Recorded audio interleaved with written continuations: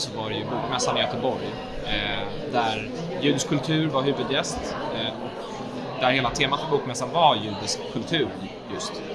Eh, och där fångades en känsla av att vara jude i Sverige. Det är världens härligaste och enklaste kombination. Eh, och enbart en vecka efter det då så, så skedde ju 7 oktober och allting ställdes på sin, på sin ända. Hur har situationen förändrats sedan dess?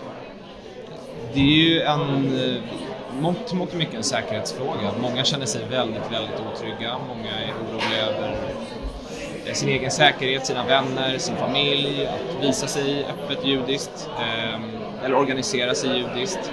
Både i verkliga fysiska livet men också på sociala medier. Hur mår du när det skanderas inga sionister på våra gator på demonstrationer i Sverige?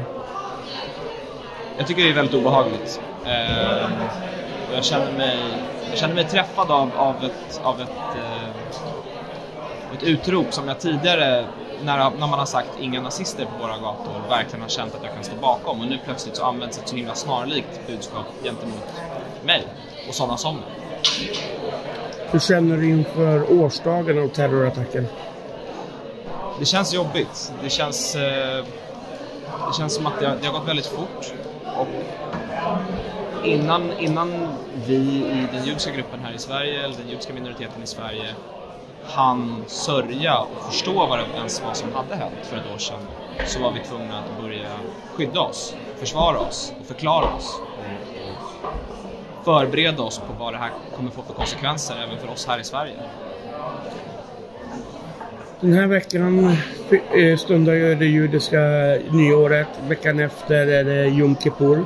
Är du rädd att någonting ska hända där? Det är jag inte. Um, jag, jag, känner mig trygg i att um, polisen kommer stötta oss. Tycker du att svensk media ger en rättvis bild av kriget som Israel är indraget i, i flera fronter? Jag tycker att man har varit väldigt duktig på att inte prata om raketbeskjutningen från exempelvis eh, Libanon de senaste månaderna eh, och att först nu så börjar det bli aktuellt när, eh, när kriget går åt båda håll på den fronten så att säga. Tycker du att svenska regeringen gör tillräckligt för att stoppa eller bekämpa antisemitismen?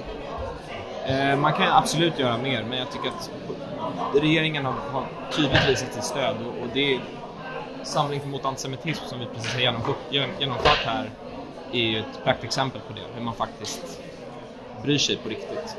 Det pratades, eh, Christer Mattsson sa någonting om den tysta antisemitismen. Hur farlig är den? Ja men det, det är ju någonting som, som flera judiska organisationer upplever att, och judiska individer upplever har saknats sedan 7 oktober. Just eh, tydliga markeringar mot antisemitism varhelst den uppstår. Att även om det är vi som i första taget drabbas av den så, så är det samhällets gemensamma ansvar att markera mot antisemitism. Tycker du om sättet Hedlund Media arbetar på. Gillar du våra vinklar på nyheterna? Gillar du vårt material? Passa då på att prenumerera på kanalen, gilla våra inlägg och stöd oss förutsättningslöst med en swish. Numret är här. Vi har inga bidrag eller någonting annat. Vi förlitar oss helt på er och eh, Google-annonser. Så att, eh, stötta oss så vi kan jobba med mer saker.